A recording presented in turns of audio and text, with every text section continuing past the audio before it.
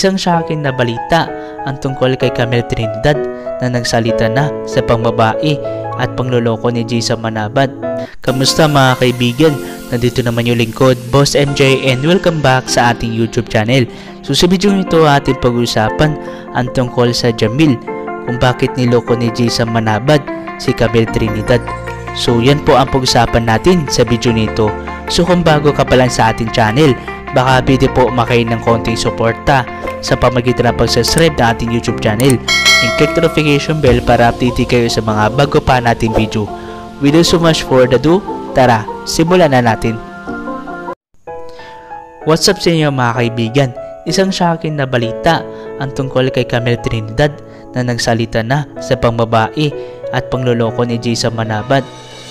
At mga netizens nagagalait kay Jason Manabad dahil sa pangloloko na ginawa niya ito ang naturang post ni Camille Trinidad patungkol kay Jason Manabad. Gusto ko lang din magsalita kasi hindi matahimik yung isip ko dahil sa sobrang sakit na pangyayari sa akin. Yung sa pag-check-in na nila ni Jason sa Highland Valley na kasama niya yung pinsan niya at napakaraming netizens nga nagbigay ng pagmamahal at simpaya kay Camille Trinidad sa ginawa ni Jason Manabad na pangluloko sa kanya. Kaya naman mga kaibigan, yan ang ating talakayin at pag-uusapan sa video nito. Pero bago tayo magsimula, ay huwag mo kalimutan mag-subscribe at hit the bell button para di ka mahuli sa mga balita at updates sa balita sa bansa natin.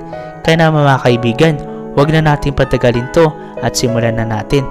Camille Trinidad nang salita na sa pambabae ni Jason Manabat. Napakaraming netizens ang nagbigay na pagmamahal dito kay Camille. Hindi nila matanggap ang ginawa ni sa Manabat.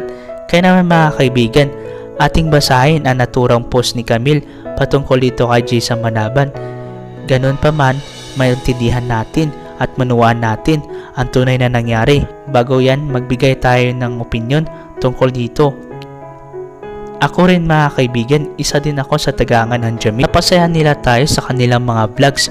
Ngunit nga, ay hindi natin inasahan ang pangyari ni Jason na manabad na pangluloko. Todo-todo reaction ng mga netizens. Impact mga kaibigan. 400,000 agad ang reaction dun sa post ni Camille. Kaya naman mga kaibigan, wag na natin patagalin to at basahin na natin ang naturang post ni Camille Trinidad patungkol sa pangbabae at panglulok ni Jason Manabad. Gusto ko lang din naman magsalita kasi hindi ko na matahimik yung isip ko dahil sa sobrang sakit na mangyari sa akin. Yung pa-check-in na sila ni Jason sa Highland Valley na kasama niya ang pinsan niya magaling na si Kim Gaya Babaero. Natuwang-tuwa pa dahil nag-inom sila at wala na bang maisip kundi mang babae. Never ako naging panatag sa pinsan niya niyan dahil kahit nasa kundo kami, ikaw ba naman makaharap pa si Jason tapos sasabihin niya titingnan mo to Jay ho, ang ganda ng babae.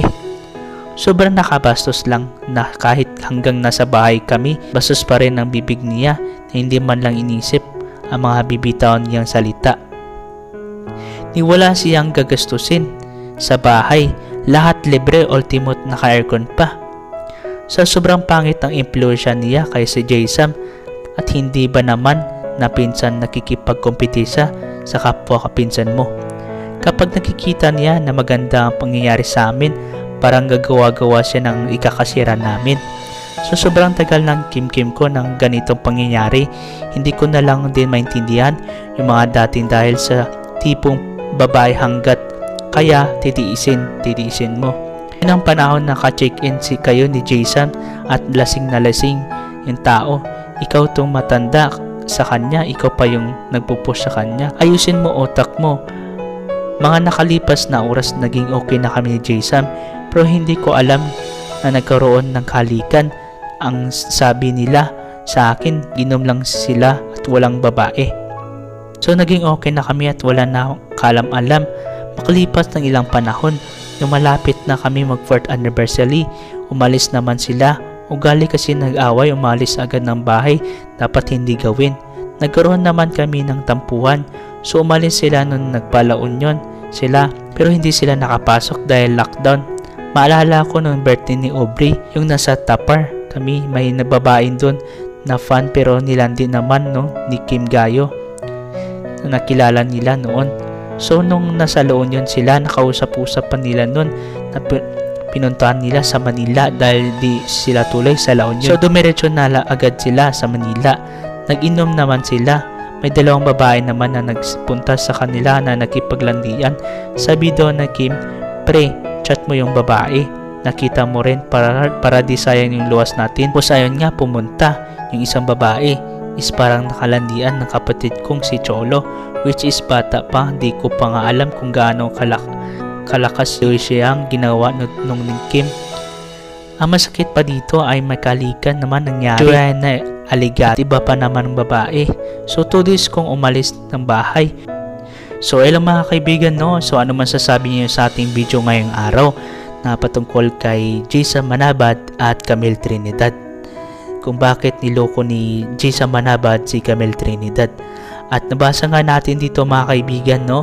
Nabanggit natin dito yung pangalan ni Nika Bernardo. Nabanggit nga natin dito, no? Yung pangalan ni Nika Bernardo kung saan dinawit dito niya si Nika Bernardo sa dito sa post ni Camille Trinidad kung bakit dawit yung pangalan niya dito. So ilang mga kaibigan naman, ano masasabi niyo sa video natin ngayong araw na patungkol kay Camille Trinidad and Jason Manabad ay comment down below lang po para babasahin ko to ng personal at pupusuan. So hello mga kaibigan, no? maraming maraming salamat po sa patuloy na pagsuporta sa ating channel. And kita-kita po tayo sa next nating video. Peace out and goodbye. See you on my next video. Maraming salamat po sa ating tagapanood and sa ating supporters ng channel na ito. Thank you, thank you so much po sa inyong lahat. So kung nagusto itong video na ito, baka pwede nyo po ako bigyan ng isang like dyan and comment kung ano pang tutorial gagawin ko next video. And share nyo din sa family and friends nyo. Subscribe my YouTube channel and click notification bell para updated po kayo sa next pa nating video. And happy 11,000 subscriber na po tayo mga kaibigan. Maraming maraming salamat po sa tuloy na pagsuporta sa ating channel. Nandito na po ang inyong mga shoutout sa last pa nating video. So ay mga kaibigan no, shoutout nyo po pala sa ating mga supporter dyan sa channel na ito.